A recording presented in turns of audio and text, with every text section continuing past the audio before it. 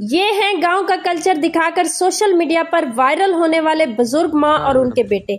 इनके घर की खूबसूरती में ऐसा क्या है?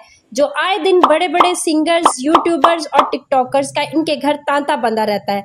तमाम तर कहानी जानिए इनके खसूसी इंटरव्यू में। सारा दिन गर्मी। अम्मी का जो नसीब है ना माशाल्लाह बहुत अच्छा है। जो भी टिकटॉकर यहाँ पे आके हमारे घर में अम्मी के साथ मेरे साथ वीडियो बनाता है तो उसकी वीडियो तकरीबन तकरीबन 10 मिलियन को टच तो ज़रूर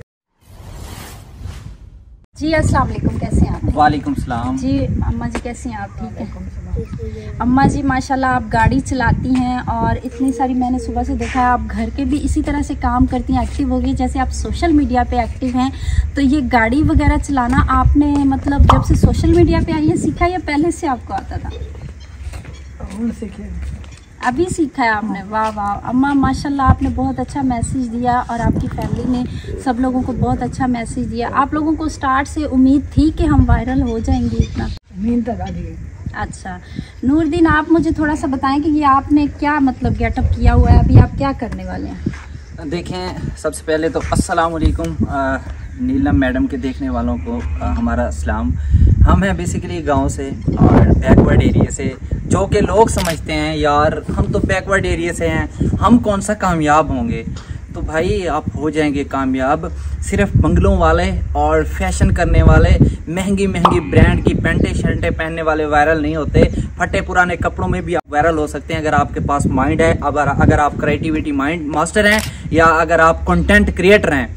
तो यार, जो ऑडियंस है ना वो ना मेरे बाप की है, ना आपके बाप की है, ना किसी के बाप की है। वो जस्ट देखती है कंटेंट अगर आप स्क्रोलिंग कर रहे हैं ना, अगर आपको वो वीडियो पसंद आई है ना, आगे बेशक कोई फकीर वीडियो बना रहा है तो उसकी वीडियो लाइक करके जाएँगे। ऐसा नहीं है कि वो सिर्फ़ बड़े बड़े टिकटॉकरों को ही लाइक देते हैं, नहीं। आप अच्छा कंटेंट बनाकर देखें, इंशाल्लाह आपका कंटेंट लाजमी वायरल सबसे पहले मेरे, मुझे जो सपोर्ट है मेरे भाइयों की है अगर आज मैं जिस स्टेज पे हूँ तो अपने भाइयों की वजह से हूँ। दूसरी बात अम्मी। अम्मी की दुआएँ और अम्मी की सपोर्ट अम्मी को बहुत लोगों ने कहा यार अ, अ, अम्मी आपके बेटे वीडियोस बना रहे हैं आपके साथ ये वो। अम्मी ने कहा बना रहे हैं तो बना रहे हैं। हम किसी से लेके थोड़ी खा रहे हैं। खुद ही बना रहे हैं खुद ही अपने घर में ही बना रहे हैं किसी और की तो नहीं बना रहे। तो ये मेरे भाई का ड्रेस है क्रीम वाला ज़ीरो नाइन उसका नाम अ, उसकी आईडी का नाम है। तो वो ऐसे ड्रेस पहनकर वीडियोस बनाता है। अब थोड़ा चेंज किया है, उसको पैंट शर्ट पहनाई है, लेकिन पहले वो इस तरह के ड्रेस पहनता था। अच्छा ये जो आपने करीम वाला नाम रखा, ये कुछ क्रिएटिविटी थी या कुछ आपके माइंड में ऐसा आया या लोगों ने नाम दिया? ये किस तरह से आपने करीम वाला नाम रखा? जी क्रीम वाला इसलिए हमने नाम रखा क्योंकि मेरा, हम जो सैकी लोग हैं ना, शादी से पहले क्रीमें लगा के, शादी जब होने लगती है ना तो हम दूल्हे जो है वो क्रीमें लगाते हैं। तो मेरा भाई क्रीम लगा के सोया हुआ था, मैंने उसकी ना वीडियो बना ली। तो वो वीडियो काफ़ी वायरल हो गई। लोगों ने बहुत प्यार दिया तो यहीं से क्रीम वाला नाम लिखा। अब लंबा चौड़ा क्या आपको बताऊँ? तो आप उन लोगों को क्या मैसेज देंगे जो वल्गर वीडियो बना के रातों रात शोहरत पाना चाहते हैं, जल्दी प्रमोट होने के लिए नेगेटिविटी की साइड चले जाते हैं? उन यूज़र्स को आप क्या मैसेज देना चाहेंगे कि उन्हें क्या करना चाहिए? हमें कंटेंट के साथ फेम के साथ इज़्ज़त भी कमानी चाहिए। अगर आप सिर्फ़ फेम हासिल करेंगे तो मैं नहीं कहता यार आपका माइंड सेटिस्फाइड होगा आपका दिल सेटिस्फाइड होगा। आप फेम के साथ इज़्ज़त भी कमाएँ।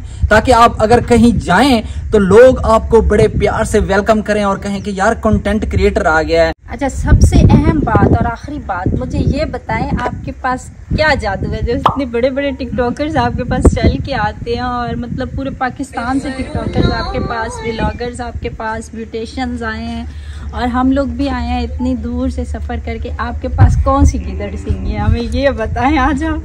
वो ये है कि किसी किसी का ना नसीब बहुत अच्छा होता है। मेरी अम्मी का जो नसीब है ना माशाल्लाह बहुत अच्छा है। जो भी टिकटॉकर यहाँ पे आके हमारे घर में अम्मी के साथ मेरे साथ वीडियो बनाता है तो उसकी वीडियो तकरीबन तकरीबन 10 मिलियन को टच तो ज़रूर करती है। नहीं तो one million two million five million पाँच चार मिलियन ये तो कहीं नहीं गए। तो इसी वजह से शायद अल्लाह अल्लाह ने हम पे करम किया है तो सारे बड़े बड़े टिकटॉकरों के बाद जो चल के जाते थे वो टिकटॉकर अब हमारे पास आ रहे हैं। तो ये सब मेरे अल्लाह का करम है और मेरी माँ की दुआएँ।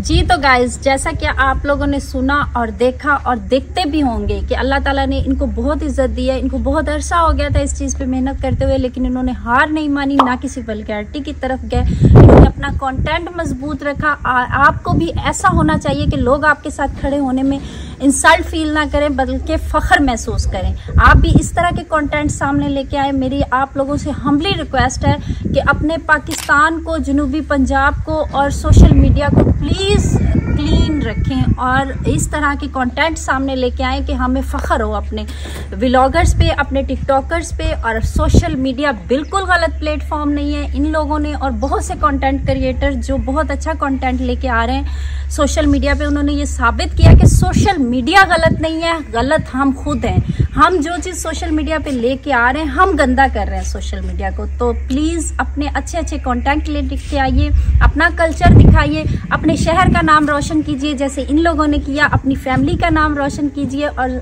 Thank you so much